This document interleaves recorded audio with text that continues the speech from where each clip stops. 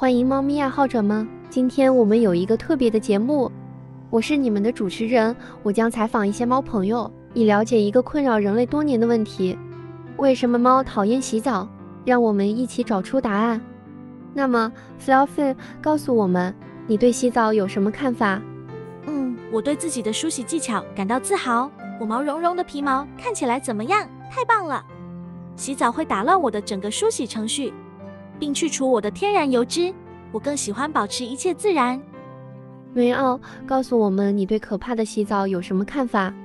老实说，我无法忍受湿透的皮毛的感觉，它既沉重又令人不舒服。我感觉就像穿住一件湿漉漉的大衣，而且它需要很长时间才能干燥。不要，谢谢。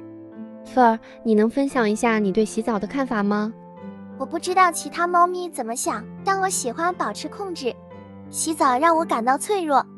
我不喜欢人类侵犯我的私人空间，我宁愿自己安静的梳洗。最后，K K 告诉我们你为什么不喜欢洗澡？你知道的，这只是对未知的恐惧。我不习惯被水淹没，那感觉真的很可怕。